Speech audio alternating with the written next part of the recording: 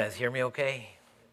Seems like it. Thank, thank you, Andrew. That was very nice of you to say, and I'm honored if I've really kind of jazzed you up for amphibians. Um, I certainly get excited about them. Um, and I wanted to talk with you guys today about a specific type of amphibian salamanders and um, how they helped me to discover my why.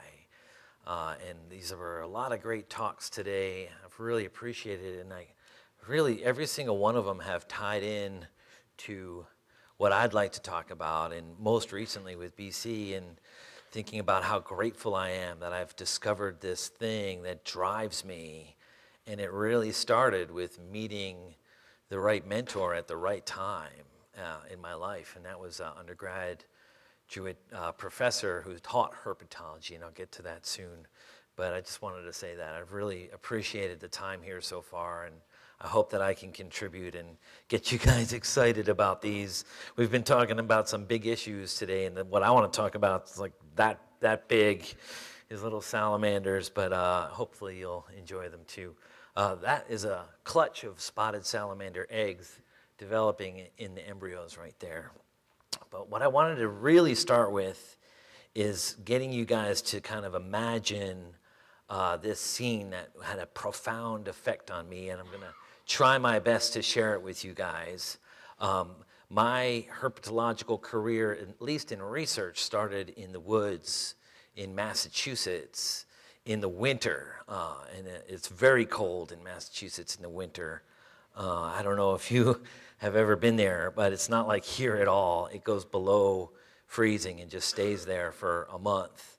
Uh, and at the end, you know, around March, right when it's going to start to warm up, um, we, get, we get excited. Our, our herpetologists get excited. We go out into the woods on what's probably going to be the first rainy night of the year. Right when it comes just above freezing, so maybe 38 degrees, and uh, and it's raining and you're out there at the edge of a pond and you're freezing cold and you see this little salamander climbing on the snow trying to get to this breeding pond. So I'm shivering. I've got a coat on, a rain jacket, and I can produce my own body heat. And this little guy is ectothermic. He cannot produce his own metabolic body heat, but he's trucking across the snow to get to the breeding pond. The determination of these guys really struck me, you know, and that's amazing. But I had heard that that first rainy night of the year in Massachusetts was called Big Night, you know, Big Night, because that's when the animals migrate to their breeding ponds. But sure enough, the rains got a little harder, and a little while later, there was my first migration of spotted salamanders. And that's an amazing sight. These animals are amazing to me. and they are invisible 51 weeks of the year. You know, they're underneath things. You don't see them. They're there. They're here in metro Atlanta. This species is in metro Atlanta, but you don't see them because they're underneath things. They stay out of the way. You know, reptiles and amphibians like to remain hidden. But that first rainy night of the year, if you are ever lucky enough to witness a spotted salamander migration, it's an amazing thing. Uh, they're looking for little parts of the pond where they have thawed so they can slip in under the ice and breed, you know, and that's what they're going for. And um, this is a typical puddle after it's begun to thaw. And uh, I called it a puddle. Uh, scientifically, they're known as ephemeral wetlands or seasonal pools, uh, temporary pools. That, to me, is a puddle. And uh, those are the types of wetlands I've uh, spent the last 15 or so years studying, and, uh, and this is the kind of wetland that really gets me excited. And it's the type of, of these puddles are what spotted salamanders need to breed in. Uh, when I was doing this, my first research project, I got to see them laying eggs. I got to watch the eggs hatch. I got to watch the larvae develop. And it all has to happen under a severe time crunch because that pond is going to dry up and it's going to dry up in a few months. So they really have to get in and get out because every year that pond, that little puddle dries up. And that's another thing that I found seriously fascinating about that.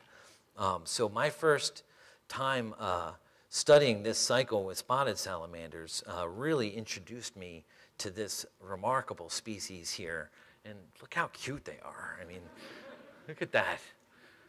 Um, so that really, really got my heart. I immediately fell in love with these little guys, and I was seeing them by the hundreds the parents coming in, the little babies coming out. Um, and it was concurrent with my last semesters as an undergraduate at the University of Massachusetts. So I was there, I was actually a sociology major, kind of a little bit inspired, uh, and I took the herpetology class as an elective just because I had a passing interest in frogs. And it, that Dr. Alan Richmond and his herpetology class changed my life. It really is divided before I took that class and after I took that class. And I haven't looked back since. I've been full on amphibian biology since then, and I've had no regrets. Uh, not a lot of money. There's not a lot of money in that, but the, that video we just watched, you know, it's inspired by by making a difference, you know, and learning about these amazing creatures. That class taught me so many things that were so valuable, and I just soaked it all up. It was all information I wanted, and I just couldn't believe how amazing these animals were. And the deeper I got into them, the more I became fascinated. Uh, one of the things I learned was that amphibians are everywhere. You know, I was just trying to convey that to you, but there are amphibians on every continent except Antarctica, and they live in places you would never think an amphibian would live. Uh, the desert, in the Arctic Circle. Um, these are crazy things that I had learned. And uh, they also, that how many amphibians there are. Uh, if you weighed all the salamanders in Atlanta on one side and all the mammals and birds of all species on the other, the salamanders would outweigh it. There are lots of them here. We just don't see them. And that's one of the main points I'm trying to convey is that they're here. Uh, and that is what an amphibian biomass might look like. That's a migration of tiger salamanders. And just look at that. It's crazy. They're driven beasts. Um, I also learned that amphibians are vital. You know, you guys think about frogs, and frogs eat flies, and they do indeed love to eat flies. But they, you know, most amphibians eat insects. Spotted salamanders, like the ones I showed you at first, specialize in mosquitoes. They eat mosquitoes. That's one thing I'm trying to drive to you guys how much of an impact amphibians have on our lives because a thousand Spotted salamanders can eat 5 million mosquitoes in a year. That's a lot of mosquitoes. So you can think about the job that they're doing for us by eating all of those mosquitoes every year. Uh, I'm grateful for that.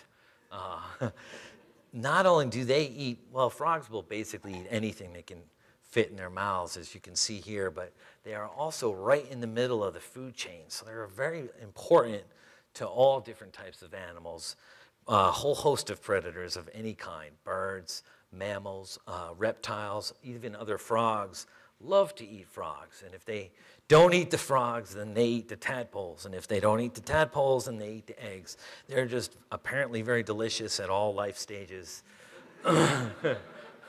this picture, this picture here was taken at the botanical garden. Uh, one of the visitors took that. It's a heron eating a, one of the bullfrogs in one of the fountains. That's an incredible picture. It's very graphic, but it's, a, it's an incredible picture. um, amphibians are also vital in another key way. They're very sensitive to the environment. You'll never see a frog drink. They absorb all their liquids through their skin. A lot of amphibians also respire through their skin as well. Uh, so basically, anything that's in the environment is absorbed through an amphibian's skin. Uh, and so they're therefore very sensitive to what is happening in the environment and often the first group of animals to respond to imbalances in the environment. Uh, and we need to pay attention to what their responses are telling us because they're responding. They've been responding for quite a while now, and I'll get into that a little bit more. Uh, amphibians are also extremely useful to human health. Uh, this little frog here is an endangered species, but it's also a poison frog from Ecuador, the phantasmal poison frog. we have these free ranging at the Atlanta Botanical Garden if you've never been there. There are thousands of these frogs loose in the conservatory. Uh, the compounds in this, in this frog's skin, epibatidine, is uh, 200 times more potent than morphine at relieving pain. And we heard about the dangers of morphine earlier. The compounds in this frog's skin are non addictive and even more powerful than morphine. So you can see the pharmaceutical value of some of these species. Other frog species are investigated for uh, treatment of HIV and cancer, and the list goes on and on for the pharmaceutical treasure chest that exists in the, in the uh, amphibian world. Uh, the gastric brooding frog or the platypus frog is already extinct. This is an amazing species that was first described in the 80s. The male shuts down his digestive system and eats the eggs.